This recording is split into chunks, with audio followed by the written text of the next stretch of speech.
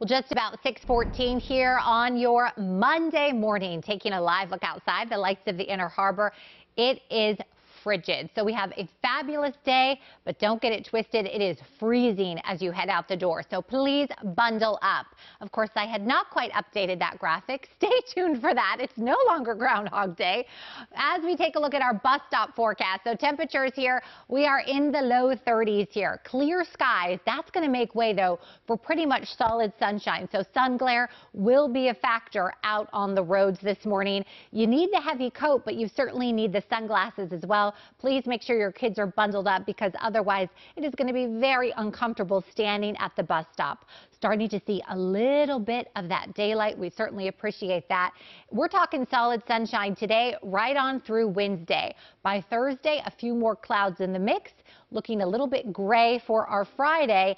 And then we're tracking some wet weather over the weekend. Not a washout, though, so we actually have plenty of times when you're going to be able to really enjoy your weekend.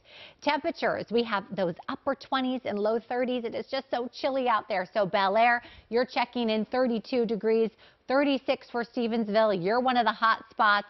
Annapolis hovering just above freezing. And then we have 30 for Frederick, 30 for Hagerstown. Westminster, you're now up to 32. College Park in the upper 20s. The radar scan is quiet. High pressure is totally in control of the forecast, and that means a cloud or two on the futurecast and that is it. So the futurecast is one of those times, there goes that timestamp, we're rolling forward, but I don't have any excitement to show you here. And remember, boring on the futurecast means fabulous for you as you are out and about. A few clouds early Tuesday morning, and then it's just a whole lot of sunshine from there. And that's the case for Wednesday as well. So you'll need the sunglasses, and then you got to hold on to them because for most of the work week, they are going to be very, very crucial. There's our high today, 50 degrees. Tonight's temperatures, we are going to dip down once again, upper 20s and low 30s. Very similar to what we had last night and what we're dealing with this morning. We'll take a look at that seven day forecast because we do want to talk about that wet weather. And also, we are tracking a significant warm up. So stay with us for that. We'll send it over to Angela for First Alert Traffic. Hi, Angela.